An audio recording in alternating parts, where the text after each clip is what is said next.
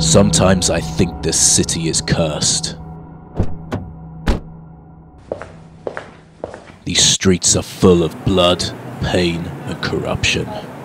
I hate watching criminals giving their bribes and desperate people doing things no human being should be forced to do. Today, I'm gonna end this. Do this city a favor. Automate your corruption workflow with App Connect.